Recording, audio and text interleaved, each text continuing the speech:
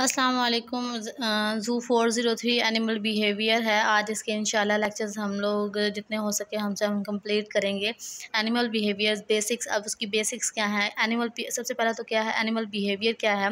Sum of response been by animal to the external and internal stimuli. अब stimuli क्या होती हैं? Stimuli कोई भी वजह होती है, कोई भी मुहर्रिक होती है, जिसकी वजह से जिसम के अंदर या कोई भी बॉडी के अंदर एक्शन है किसी एक्शन का हम लोग रिएक्शन देते हैं, ठीक है? अब ये क्या है? सम ऑफ़ रिस्पॉन्सेज है रिस्पॉन्सेज का मजबूआ मजमू है ये, जो एनिमल जो है एक्सटर्नल और इंटरनल स्टिमुलाई की वजह से दे रहे हैं। यानी हमारे बॉडी के अंदर क्या हो रहा है और बॉडी के बाहर क्या होता है जिसके रिएक्शन जिसके नतीजे में हम लोग रिएक्ट करते हैं। वो क्या है? एनिमल बिहेवियर है। मतलब एनिमल बिहेव कैसे करें जानदार, जो जानवर जो हैं, वो बिहेव कैसे कर रहे हैं?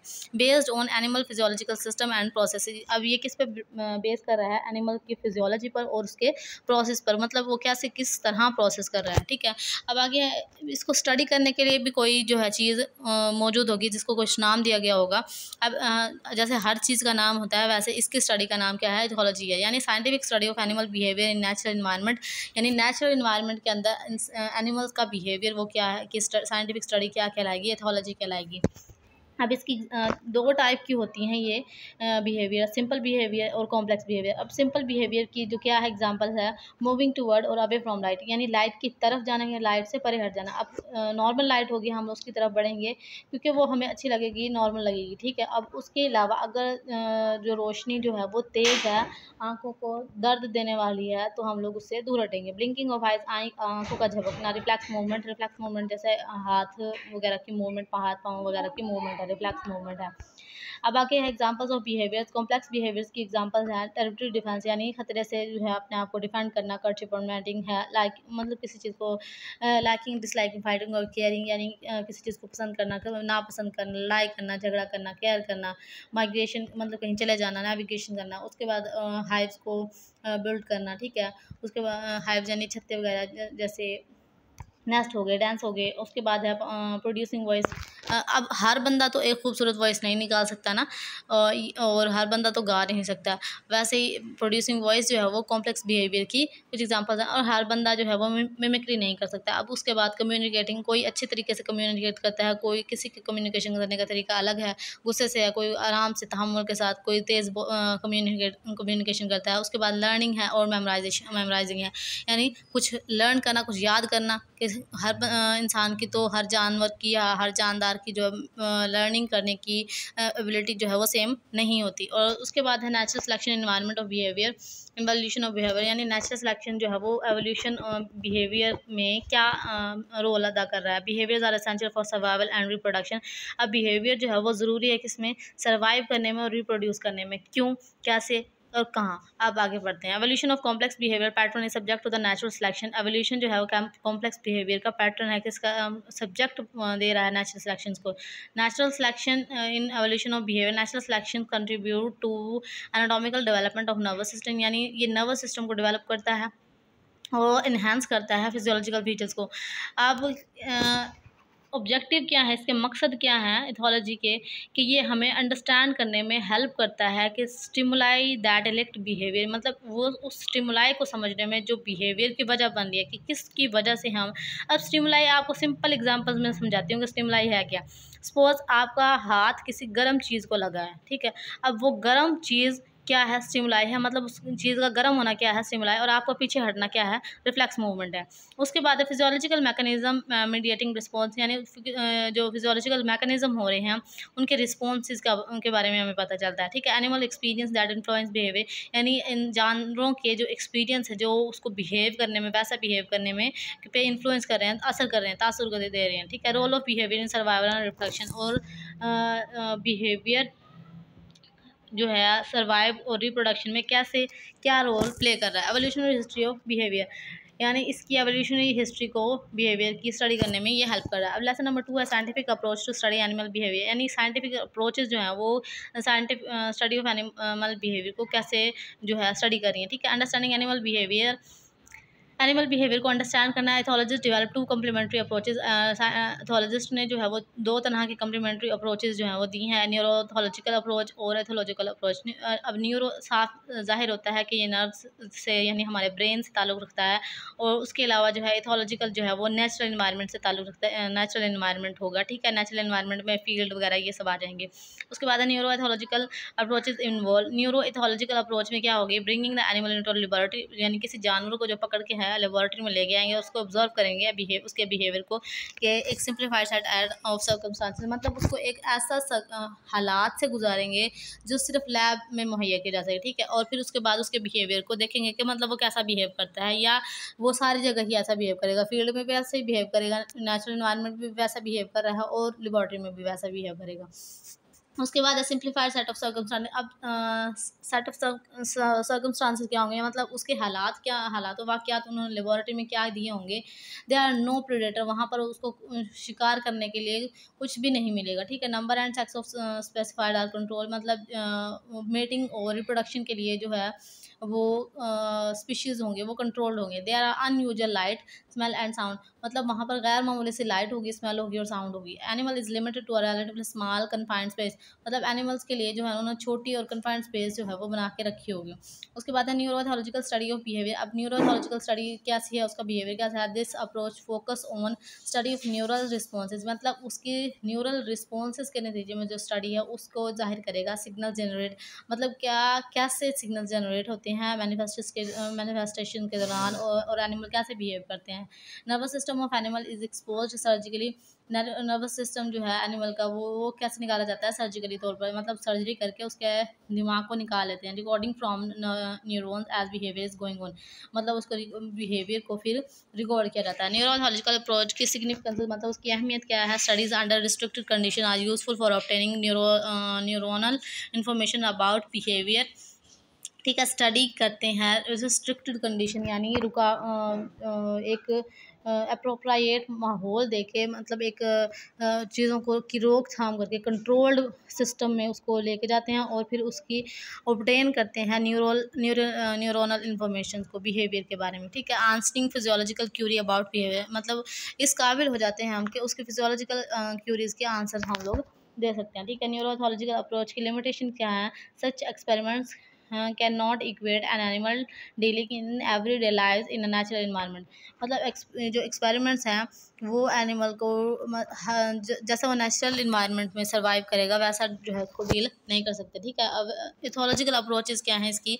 गोइंग टू द फ़ील्ड आप इथोलॉजिकल अप्रोच इसके बारे में पढ़ेंगे मतलब एक फ़ील्ड में जाना है, वहाँ पर ऑब्ज़र्व करना है एनिमल्स को कि नेचुरल इन्वायरमेंट वो कैसे सर्वाइव करते हैं। लिमिटेशन ऑफ़ इथोलॉजिकल अप्रोचेज अब इसकी लिमिटेशन क्या है? For phylo physiologist natural conditions renders experimental constructions sorry constraint एक फिजियोलॉजिस्ट के लिए जो नेचुरल कंडीशंस हैं, वो रेंडर एक्सपेरिमेंट से जो है, वो थोड़ी सी मुख्तलिफ़ है। क्या कैसे कि एक नेचुरल इन्वायरमेंट में अगर कोई सपोज़ एक फ़ील्ड है, उसके अंदर कोई जानवर घूम रहा है, उसको के ऊपर एक्सपेरिमेंट वो मुश्किल से करेगा, क्योंकि उसको वो पकड़ नहीं सकता, उसके दिमाग को निकाल नहीं सकता, ठीक है? एक लैब में मौजूद पड़ा जानवर, उसको वो, उसके दिमाग को सर्जिकली तौर पर आराम से उसके दिमाग को निकालेगा, उसके जो है बिहेवियर को रिकॉर्ड कर लेगा it is impossible to record activity from animal nervous system मतलब इंसान, जो एनिमल का जो नर्वस सिस्टम है, उसकी एक्टिविटी को वो रिकॉर्ड करना उसको के लिए इम्पॉसिबल है, ठीक है? That is involve in producing behaviour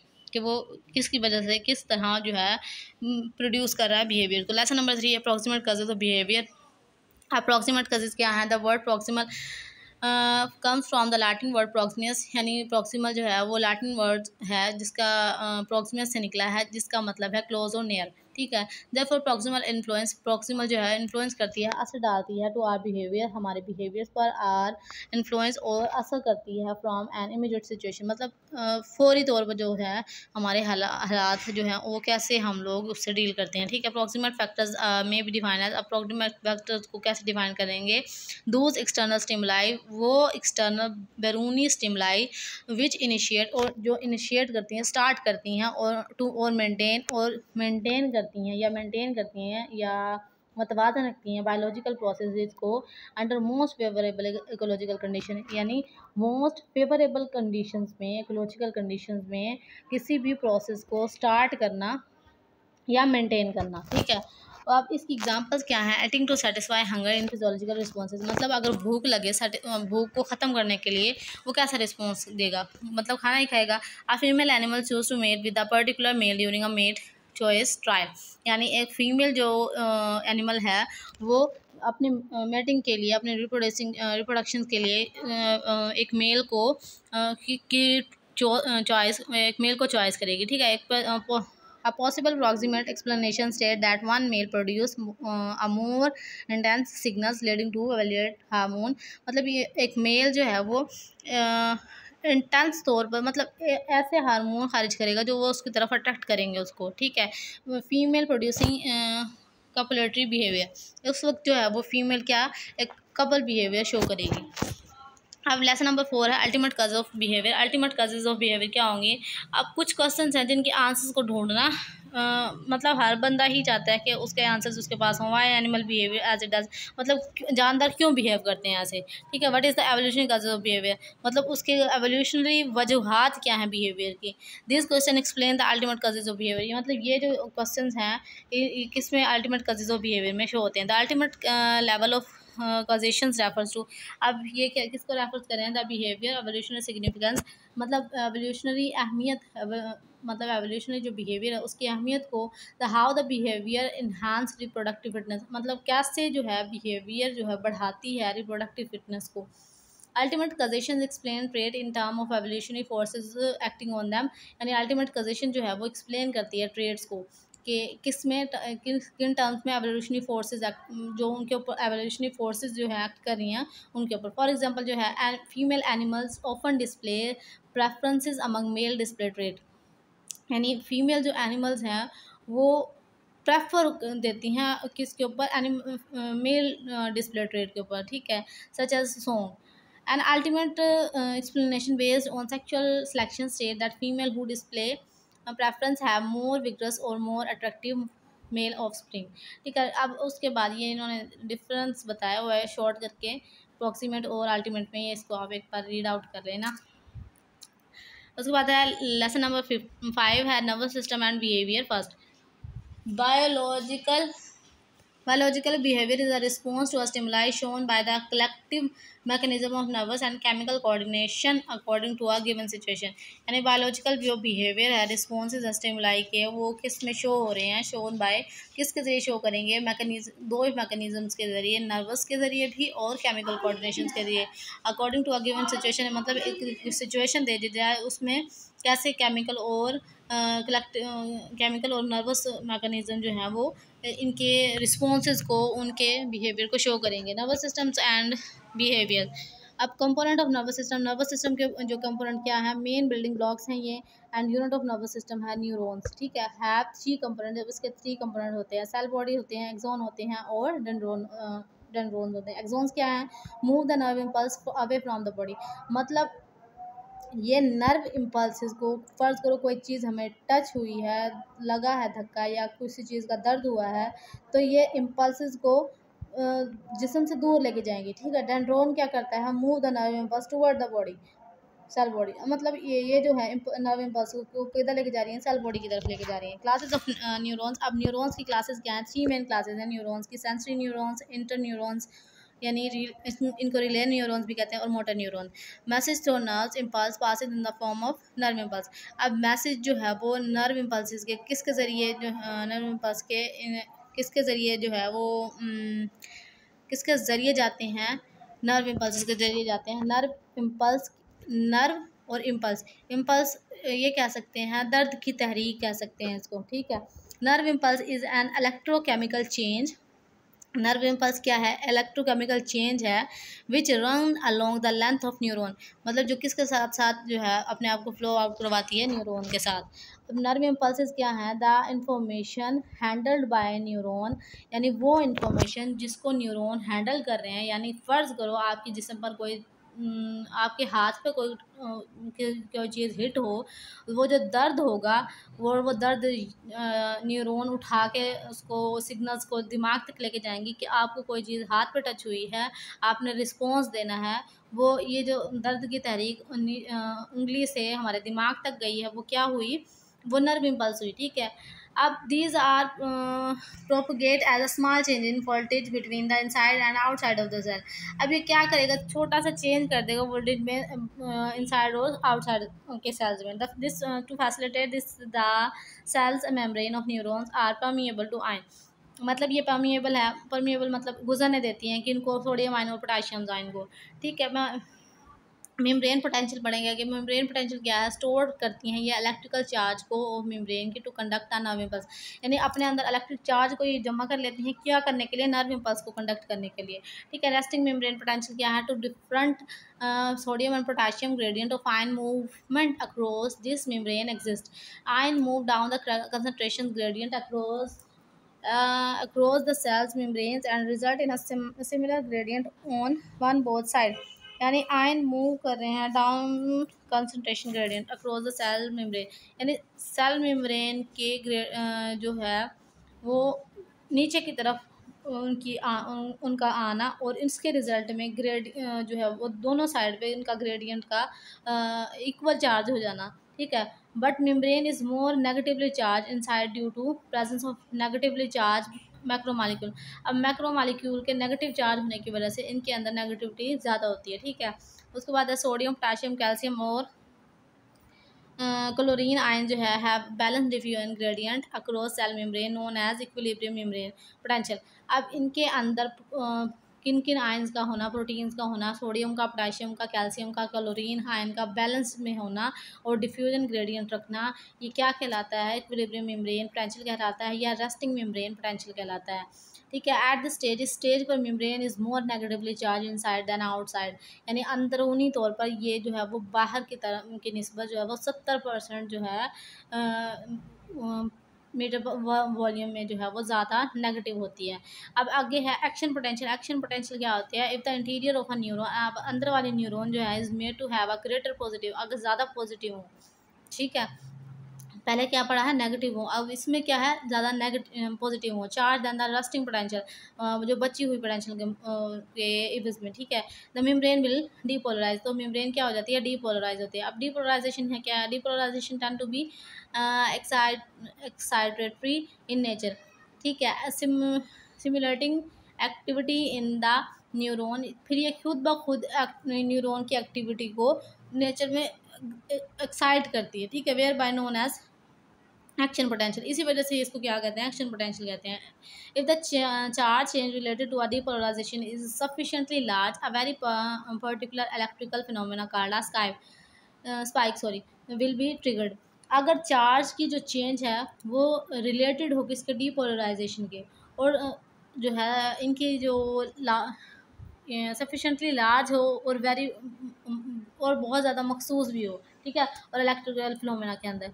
तो इसको एक नाम दिया गया है जिसको स्पाइक कहते हैं, ठीक है? ये ट्रिगर्ड हो जाता है। Act action potential is all or none responses आगे है हाइपर पोलराइजेशन अब हाइपर पोलराइजेशन क्या है? The application of an increase negative charge यानी वो एप्लीकेशन वो खसूसियत जिसके ज़रिए नेगेटिव चार्ज जो है वो इंक्रीज़ हो जाता है within the cell cell के अंदर will result in membrane hyperpolarization तो इसके नतीजे में सेल जो मेम्ब्रेन है, वो हाइपर पोलराइजेशन एक का फिनोमिना जो है वो शो करती है। अब hyperpolarization tend to be inhibitory ठीक है, ये इनहेबिटरी की तरफ़ बैंड हो जाती है, ठीक है टेंड हो जाती है। अब आगे है साइनअप्स साइनअप्स कह सकते हैं हम लोग? स्पेस या छलांगे लगाकर साइनेप्टिक मतलब एक जगह से एक पोजीशन से दूसरी पोजीशन साइनअप होगी, ठीक है? And arriving action potential depolarize the synaptic knob यानी एक्शन पोटेंशियल का पहुँचना। इधर depolarize the synaptic knob synaptic knob तक। ठीक है calcium ion enters the cytoplasm and after a brief delay ACH is released through the exocytosis of synaptic vesicles calcium ion जो है वो एंटर होते हैं किसमें? साइटोप्लाज्म के अंदर और इसके बाद एक ब्रीफ डिले होता है एसीएच का। ठीक है, जो एसीएच कहाँ से रिलीज़ होती है? एक्सो साइटोसिस से होती है और साइनेप्टिक वेसिकल्स की। ठीक है ए क्या करती है? बाइंड कर देती है सोडियम चैनल्स को रिसेप्टर्स के on the postsynaptic membrane ठीक है? किसके ऊपर ये रिसेप्टर्स को रिसेप्टर चैनल्स को जो है बाइंड करती है? सोडियम चैनल्स के रिसेप्टर्स को पोस्ट साइनेप्टिक मेम्ब्रेन के ऊपर ये बाइंड कर देती है, बाँध देती है ए के, ठीक है? प्रोड्यूसिंग आ ग्रेडेड डिपोलराइजेशन और प्रोड्यूस करती है ग्रेडेड डिपोलराइजेशन को। Depolarization and an A C H is broken down into acetate and choline by A C H E the synaptic knob reabsorb synaptic knob क्या करती है? उसको री absorb कर देती है गोलाइन को फ्रॉम द साइनेप्टिक क्लेफ्ट यानी साइनेप्टिक क्लेफ्ट जो है, उसको के ज़रिए।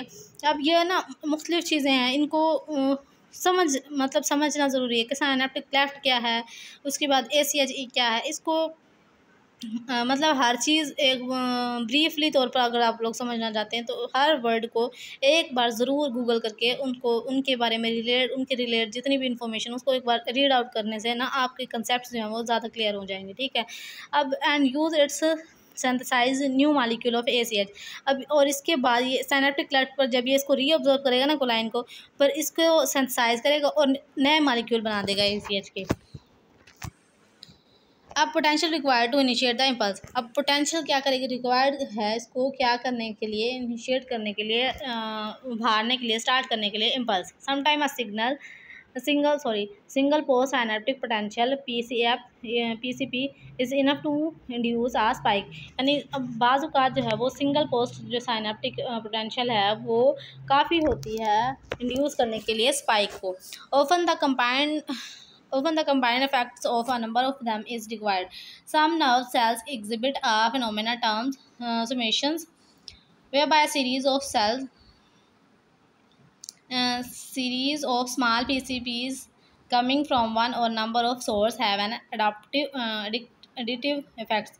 मतलब ये कह सकते हैं कि नर्व सेल जो एग्जिबिट कर रहे हैं एक फिनोमेना जिसको समेशंस कहते हैं, वो क्या है? सीरीज़ है स्मॉल पी एस पीज की, जो एक के बाद आ रही है, एक के बाद दूसरी आ रही है और जो है एडिटिव इफ़ेक्ट को शो कर रही है।